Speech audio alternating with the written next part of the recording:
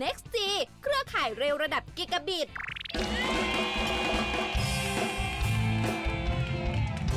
โอ้โหหมวยเอ้ยเราสองคนฝันไปมิจ๊ะ ที่วันนี้หมวยนั่นนะ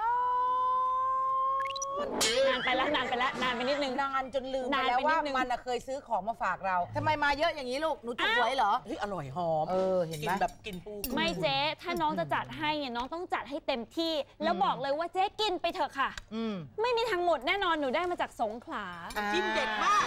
อ่าเจ๊รู้ไห มคะว่าทำไมเมื่อ10ปีก่อนเนี่ยหน้าน้ำสงขลานั้นมีแต่ปูม้าที่แบบเหลือน้อยมากเอ้าแต่ทุกวันนี้เนี่ยนะคะทะเลสงขลากลับมาอุดมสมบูรณ์เหมือนเดิมเลยเจ๊อยากรู้ไหมว่าชาวบ้านเนี่ยเขาทำยังไงกันอะวันนี้จะพาไปที่บ้านหัวเขาอำเภอสิงหนครจังหวัดสงขลาค่ะจ้ะไปหาคำตอบที่นั่นกันได้เลยค่ะโอเคพูดจบเลยไหมจะได้กิน กินสิกินปูไม่หมดเยวโอ้โหนี่อืมเห็นปูม้านึ่งตัวใหญ่เต็มจานแบบนี้บอกเลยนะครับว่ามาจากชุมชนบ้านหัวเขาอำเภอสิงหนครจังหวัดสงขลาบ้านเราวันนี้ ใครชอบเมนูปูม้าสดสดๆชอบท่องเที่ยวสัมผัสวิถีชีวิตชาวประมงท้องถิ่น แนะนำให้มาที่บ้านหัวเขาได้เลยนะครับป้าต้อยค่ะเห็นบอกว่าชุมชนบ้านหัวเขาแต่ก่อนนี่หาปูยากมาก เพราะว่าเรือหากันเยอะ แต่ว่าทรัพยากรมันเติบโตไม่ทันกับความต้องการของชาวบ้าน ป้าก็เลยมีแนวคิดถ้าเราได้ปูที่ไข่นอกกระดองมาเราก็ต้องเอามาเคลียร์เอามาค่ะฟักตอนมัจะแรกสู้ที่ทำเชื่อได้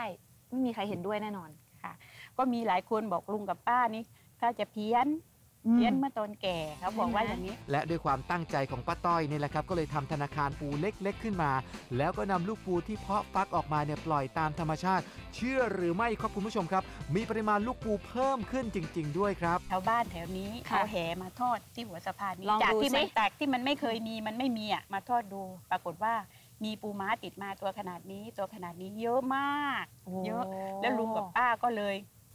ประสบผลสำเร็จแล้วว่ะเป็นเวลากว่า 9 ปีแล้วนะครับ ที่ชุมชนบ้านหัวเขามีทรัพยากรปูเพิ่มมากขึ้นอย่างเห็นได้ชัด ทุกวันนี้พอจับปูม้าที่ไข่นอกกระดองมาได้ ก็จะนำมาส่งให้กับธนาคารปูของลุงอนันต์ครับพอไข่ปูเริ่มสีเข้มๆแบบนี้ ก็ถึงเวลาช่วยปูเขี่ยไข่ครับผม ไอ้ยีเร็วๆลูกยีเร็วๆไอ้ไอ้ไอ้ไข่นี่มันออกจากเออนั่นแหละนั่นแหละ เดี๋ยวให้มันหลุดหมดเลยเหรอ นะมันมันมันจะไข่อย่างนี้อยู่นานไหมคะสิบสองชั่วโมง 12 ชั่วโมงหลังจากนี้ต่อไป ใช่ลูก เดี๋ยวจะออกมาเป็นตัว ใช่ใช่ลูก เลี้ยงจาก 15 วันถึง 1 เดือน แล้วปล่อยลงสู่ทะเล ลุงอนันต์คะความรู้เรื่องของการเพาะฟักลูกปูเนี่ยที่ทางปตทสพมาให้ความรู้กับชุมชนมันดียังไงคะ เราเล็งเห็นในเรื่องการฟื้นฟูทรัพยากร ให้มันยั่งยืนได้ชั่วลูกชั่วหลาน อืม อันนี้เป็นแนวคิดของปตทสพร่วมการลุงหนังมันได้สองอย่างค่ะคือหนึ่งเพื่อการศึกษาของเด็กนักเรียน สองทรัพยากรในทะเลมันขึ้นมันเป็นเห็ระนดับผลระจดับะดับริง เป็นองค์ความรู้ที่พี่อานันต์และชุมชนนะครับได้รับการสนับสนุนมาจากปตทสพที่ช่วยสร้างความเข้าใจให้กับวิถีชุมชน ในการเพาะฟักลูกปูแบบถูกขั้นตอน โดยนำนักวิชาการมาให้ความรู้นะครับแล้วก็การจัดทำบ่อในการอนุบาลลูกปูให้แข็งแรง ก่อนจะนำไปปล่อยกลับลงทะเล เพื่อเพิ่มปริมาณปูในธรรมชาติ ซึ่งก็เป็นเรื่องที่ปตทสพเข้ามาช่วยแก้ปัญหาให้กับชาวประมงในชุมชนบ้านหัวเขาครับ ๆทำไมทางปตทสพถึงเลือกมาทำกิจกรรมที่ชุมชนบ้านหัวเขาคะปตทสพมีฐานสนับสนุนพัฒนาปิโตรเลียมเองมีคลังสินค้าเพื่อสนับสนุนการ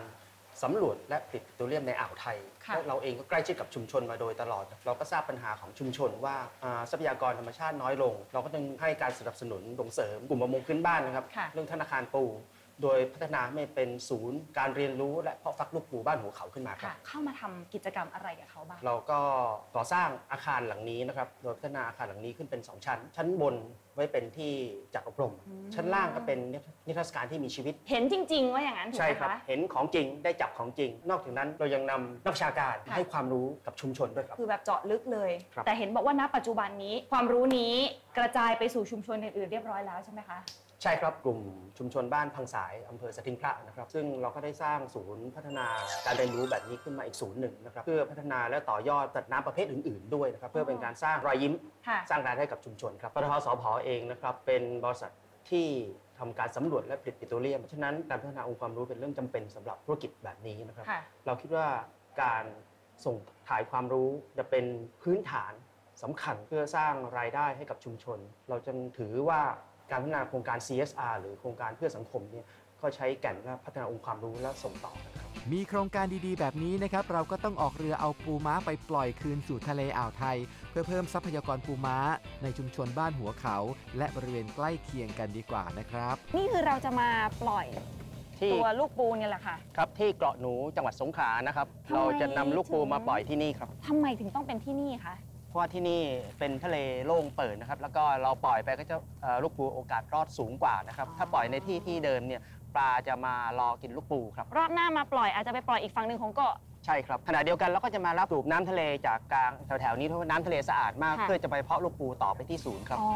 คุณผู้ชมท่านไหนอยากมาสัมผัสความสุขของชาวบ้านหัวเขาแบบนี้ ก็มาเที่ยวกันได้เลยนะครับ เรียนรู้วิถีชีวิตประมงพื้นบ้านริมทะเลสาบสงขลากันได้ พร้อมกับเมนูปูม้าสดๆ แบบนี้ครับ นี่กันเชียงปูชุบแป้งทอด ปกติเมนูนี้เขาไม่มีใครเขาทำเลยนะคะเพราะกันเชียงปูแพงเออกินแบบนี้เนาะคุณแม่เนาะเมนูนี้ไม่เคยกินเลยอะจัดเลยค่ะ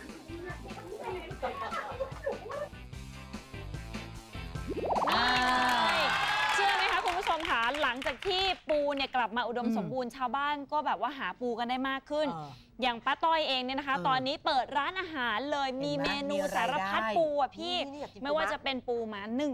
ข้าวผัดปูนะแนะนำเลยว่าให้ไปสงขลาถ้าไปสงขลาต้องแวะไปกินร้านป้าต้อยด้วยรู้นะไหมทำไมรู้ไหมเจนุ้ยมันทำให้เราได้เห็นว่าชุมชนน่ะแข็งแรง ใช่ชุมชนมีรายได้ เพื่อที่ได้ไม่ต้องกระจัดกระจายกันไปไหนเอาถูก เห็นแบบนี้แล้วเนี่ยต้องบอกเลยว่า โครงการศูนย์เรียนรู้และเพาะฟักลูกปูจังหวัดสงขลา ถือว่าเป็นโครงการเพื่อสังคมอีกหนึ่งโครงการ ใช่ ที่ทางปตทสพเนี่ยเข้าไปช่วยสนับสนุนพัฒนาชุมชน ให้เกิดองค์ความรู้ในการเพาะฟักลูกปูอย่างเป็นรูปธรรม ค่ะ เห็นแบบนี้แล้วชื่นใจไหม ถูกต้องชื่นใจมากคุณผู้ชมค่ะเพราะว่าเราได้เห็นคนในสังคมเนี่ยช่วยเหลือเกื้อกูลกัน และอีกอย่างหนึ่งเราได้เห็นองค์กรขนาดใหญ่ที่มีทรัพยากรและเครือข่าย ก็เข้ามาช่วยกันดูแลช่วยเหลือชุมชน เพื่อสร้างสังคมที่ดีร่วมกันค่ะอืมเป็นเรื่องดีๆอย่างนี้นะคะ เวลาหมดแล้วอ้าวช่วงปลายฝนต้นหนาวนี่รักษาสุขภาพกันด้วยนะคะ กินแกงส้มดอกแครแก้ไข้หัวลมนี่เรื่องจริงเนาะ